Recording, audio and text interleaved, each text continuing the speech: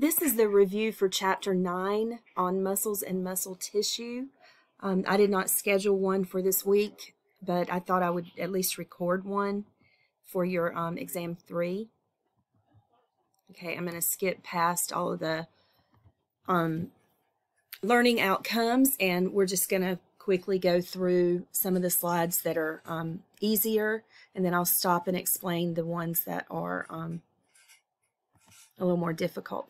And I'll try to focus on topics that um, uh, that I know are on the exam, that are emphasized on the exam. Okay, so skeletal muscle tissue is packaged into skeletal muscles, and skeletal muscles are considered organs. Uh, skeletal muscles are the ones that we name when we exercise, um, like your biceps and your triceps. So they're actually considered organs. They are organs that are composed of cells called skeletal muscle fibers.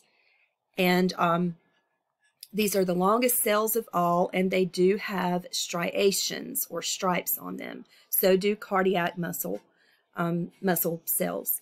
Uh, skeletal muscle is voluntary because we can control the contraction of our skeletal muscles um, consciously. They contract rapidly, tire easily, and are powerful. All right, so keywords are skeletal, striated, and voluntary. And cardiac muscle tissue is found only in the heart. Like skeletal muscle, it is striated, but the contractions are involuntary. We do not um, consciously control the cardiac muscle contractions. And we find smooth muscle, this is probably the least um, well-known muscle tissue. This is found in the walls of hollow organs like the stomach, the intestines. It's found in large blood vessels. So the walls of those blood vessels are smooth muscle. Um, the urinary bladder, the airways, any tube that's going to move a fluid or air or even a solid through that tube so if you think about all your body systems that do that, um, they are going to have smooth muscle in their walls. Smooth muscle does not contain striations, but like the cardiac muscle, it is involuntary. Keywords are visceral because smooth muscle is found in your visceral organs, which are organs typically in your um, abdominal cavity, abdominal pelvic cavity, um, and your um, thoracic cavity. Okay, so we've got a picture here showing you um, what skeletal muscle looks like. You can see the striations. You can see how they're elongated and the nuclei. All of these are nuclei. So skeletal muscle fibers are multinucleated. The cardiac muscle fibers, you can see the striations. You can also see branching in the cardiac muscle fibers, and you can see these intercalated discs that connect the cardiac muscle fibers. And smooth muscle, as you can see, um, is has a very smooth appearance. Okay, all muscle types, all three muscle types are um, excitable. That means they can receive and respond to stimuli. They um, can contract. That means they can shorten forcibly when stimulated. They are able to be stretched. That property is called extensibility, and they're able to recoil to resting length. That's elasticity. So those are the um, characteristics of muscle tissue, all three muscle tissue types. Functions of muscle tissue is to produce movement, not just the movement of the entire individual. Walking would be an example. Picking something up would be an example but also the movement of materials through the body, like digesting the food and the movement of the um, remaining waste throughout the digestive tract, pumping blood, um, pumping uh, pumping blood and air, moving air through the airways. These are all examples of um, smooth muscle function. Um, pumping blood, I'm sorry, sorry, pumping blood is cardiac, um, cardiac muscle function but moving blood through the blood vessels is also going to be smooth muscle. Okay, another uh, function of skeletal muscle is to maintain the posture and the position of the body, to stabilize joints, to generate heat as they contract. Now we're going to focus on skeletal muscle, the nerve and the blood supply. Um, well, skeletal muscle, each muscle um, receives a nerve, an artery, and veins. Every muscle has a nerve, an artery, and veins. Uh, these are the connective tissue uh, sheaths or wraps that wrap around groups of muscle tissue. The outside wrap that wraps around the whole entire muscle is the epimysium. I've heard it also pronounced epimysium. That doesn't matter to me so much. Um, but it is going to be the dense, irregular connective tissue that surrounds the entire muscle. Um, it may also blend with the fascia, or it may blend with the tendons and um, the tendons that connect that muscle to bone. Now, the muscle fibers themselves are surrounded by, we'll go down to the bottom, to the endomysium, and that is composed of fine areolar connective tissue. And it surrounds, like I said, it surrounds each muscle fiber. And the muscle fibers are grouped into bundles called fascicles. The fascicles are surrounded by perimysium, which is fibrous connective tissue. And here is a picture, and you do need to know this picture. There's a matching on the exam um, where you have to know the be able to know what this picture is composed of, the composition. So um, we're, what we're looking at is the femur, and we're looking at a muscle that is attached by a tendon to the um, area in between the greater and lesser trochanter of the femur bone. So it's attached up next to the um, top of the femur bone, ba basically. And um, this entire muscle is surrounded by epimysium. And then you can see that groups of muscle fibers are surrounded by perimysium. And then each individual muscle fiber is this entire structure right here, which also consists of bundles. But this entire structure is a muscle fiber, and it's surrounded by endomysium.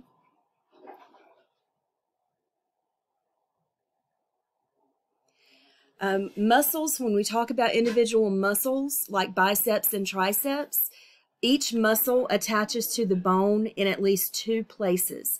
The insertion of the muscle is the attachment to movable bone. The origin is the attachment to immovable or less movable bone. So if we go back to this muscle that we're just looking at, it's attached, this is going to be the um, origin of this muscle because this is the place that does not move. It's the part that does not move um, that this muscle is attached to. Okay, um, attachments can be direct or indirect. That means if they're direct, um, the they don't have a uh, tendon or a connective tissue sheet like an aponeurosis, which you have between the frontal bone and the um, occipital bone of the skull. All right, and here's the same picture.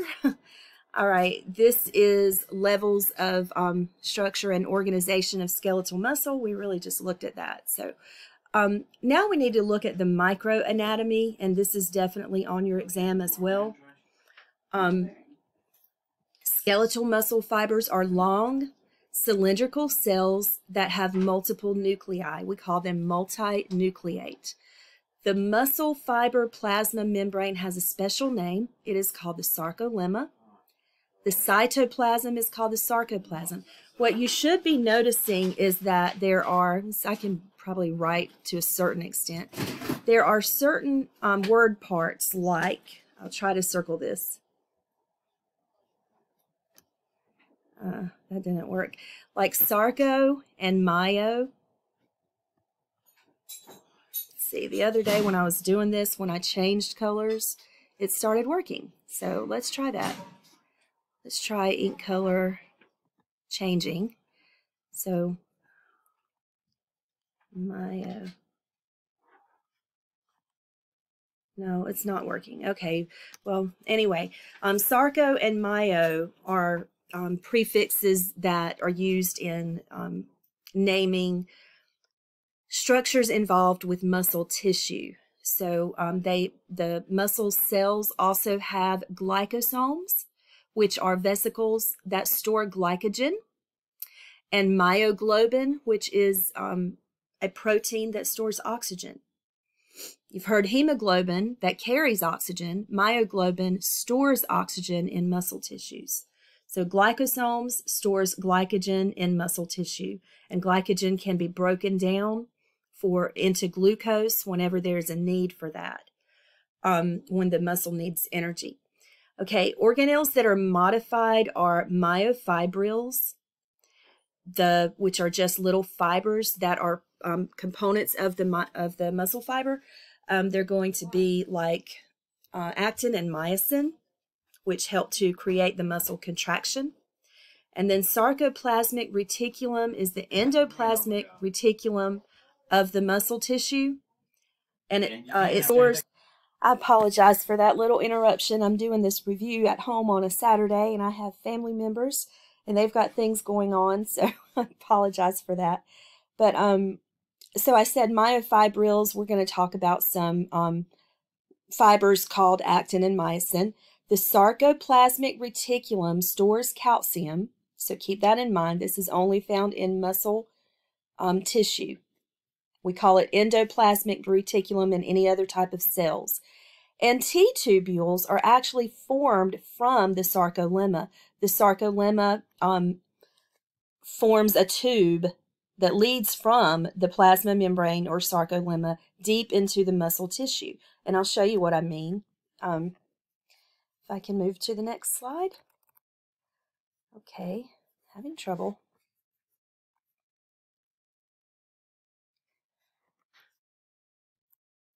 Okay, there we go.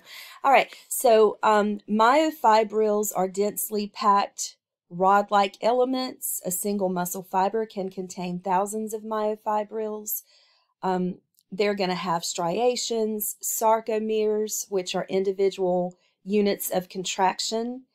The myofibril is going to contain groups of myofilaments. And let me be clear, um, the myofilaments are actually what we, um, we're going to name them actin and myosin and then troponin and um, tropomyosin.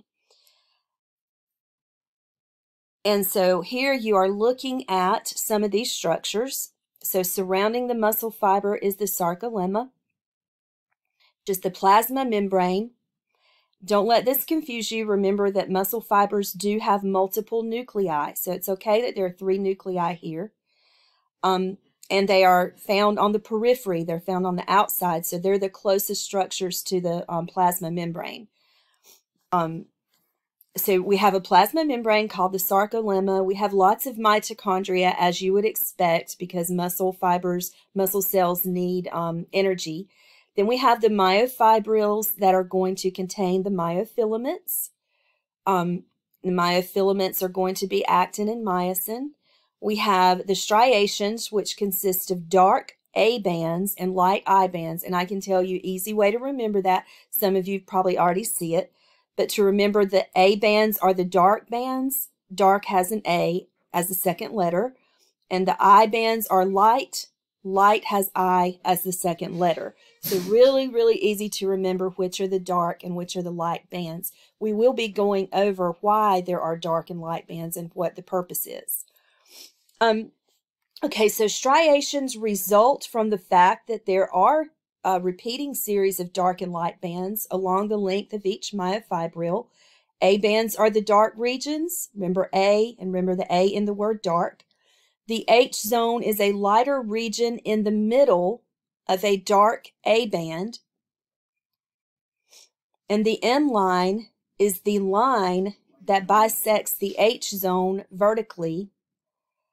The I bands are the lighter regions, and the I bands are going to contain the Z disc, um, which is a coin shaped sheet of proteins on the midline of the I band. And it's so much uh, easier when showing you these structures to actually to talk to you about um, them. So the sarcomere is what we're going to look at next. You do need to know the sarcomere is the smallest contracting unit of muscle, of a muscle fiber, and it is the area between Z disc. So a sarcomere is going to go from one Z disc right here to the next. That will be considered a sarcomere.